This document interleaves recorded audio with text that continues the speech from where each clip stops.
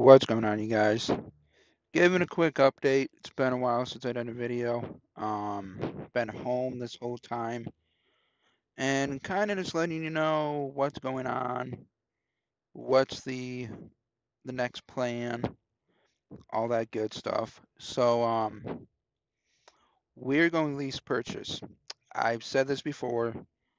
I've procrastinated before about doing it, but we are going lease purchase. So I will be taking you along through when I get the truck, how much is the truck, how much does everything cost, um, how is it going, pretty much updates on it. And uh, the one thing you want to know, so for new people that jump into lease, you got to know what your your rate per mile is across the board. If you don't know what your cost, sorry, cost per mile, if you don't know what your cost per mile is across the board, you're not going to make money. So you got to know what it's going to cost you to run that truck with your truck payment, your fuel, your your plates, your registration, um, your insurance, all that stuff, you got to know what is it going to cost you per mile. So, for example, hypothetically, I'm not saying anything, but hypothetically, let's say it's going to cost you 55, let's say 60 cents a mile. That is what it's going to cost you to keep that truck rolling regardless of miles. So, you know, let's say average 2,000 miles, it's going to co- at it's going to cost you 60 cents to keep that truck moving. Also, you got to know what your profit is per mile. So, whatever you're making per mile or however you do it, you want to take that minus your cost per mile, and that is about what you're going to get. Um, you can do fuel. I I don't do fuel because fuel is it's a variable. It's a variable rate uh, price. It is not a fixed rate or price. So like your truck payment, your plate, your insurance, um, those are fixed cost. Now you got some companies do escrow account, some have a a warranty program. Those are variables. So let's say let's say uh, five cents a mile for a warranty cost. So that's a variable because that's going to change. You could get 2,000 miles one week, 3,000 miles the next. You get the idea.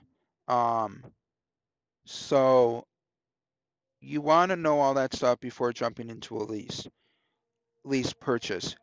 Um, and i'll go more into that later. And um, a lot of people are going to say oh you're a glorified company driver. You're not a you're not an owner operator. You're not this or that. But here's the reality. When you're lease purchasing you kind of are your owner operator.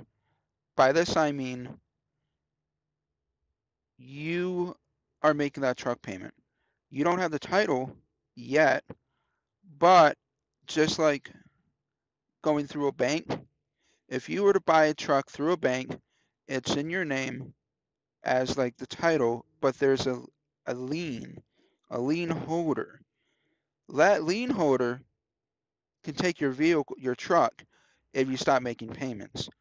So in reality, you are an owner operator because you're making that truck payment, you're making the fuel, you're ma- you're paying the plates, insurance, cargo, um, everything you're paying on that truck, you're paying.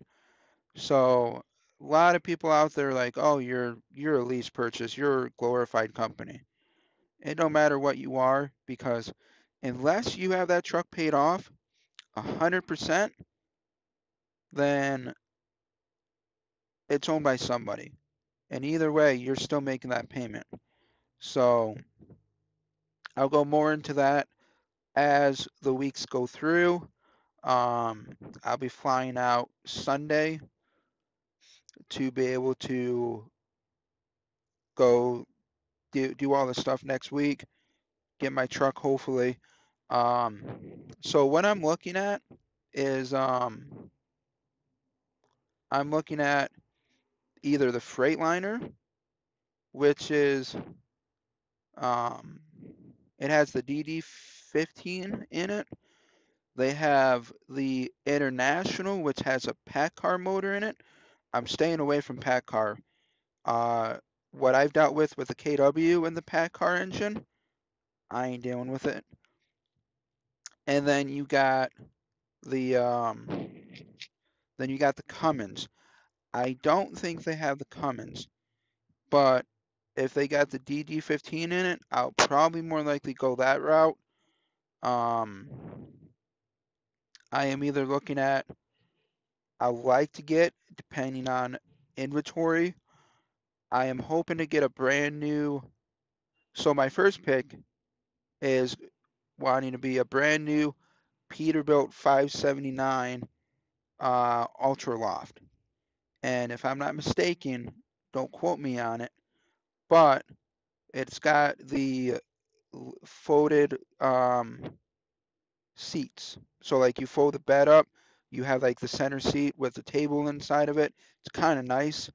Um, the Freightliner's got that too, but I'm more of a Peterbilt guy, and so that's my first choice.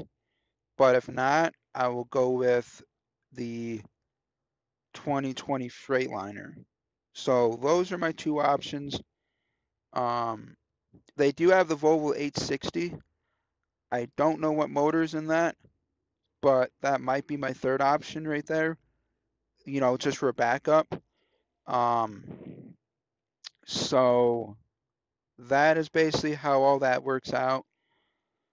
And I already got my LLC, I got my EIN number, I got everything set up for my business.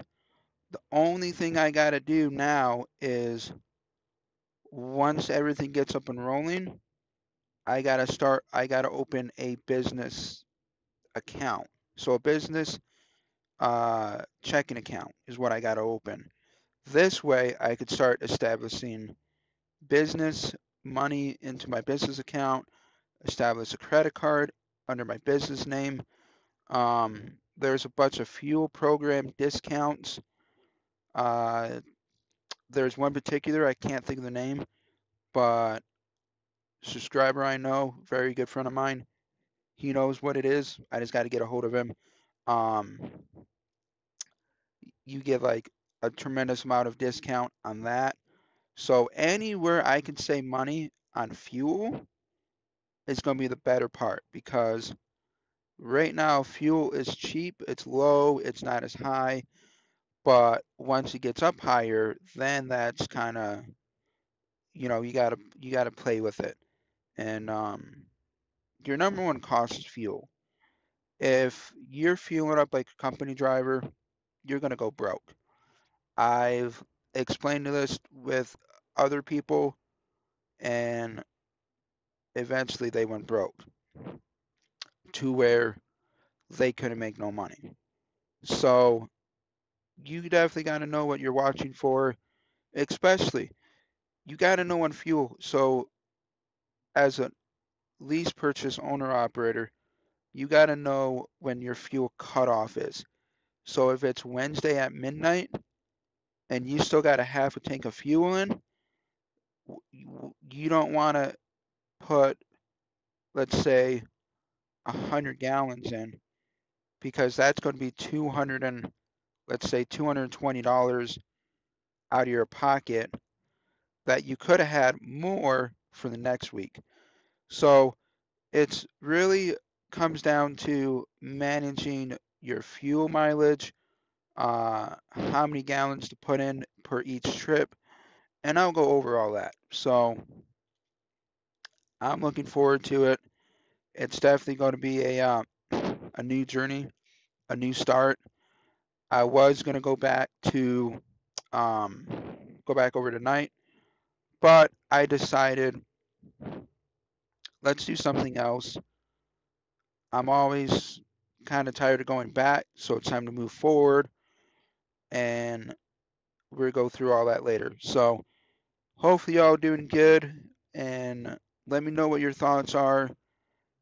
Let me know what what truck do you think is the best one? Do you think it's Peterbilt, Freightliner, a Volvo, or do you think it comes down to the motor? Whether if it's a Cummins, a PACCAR, a DD15.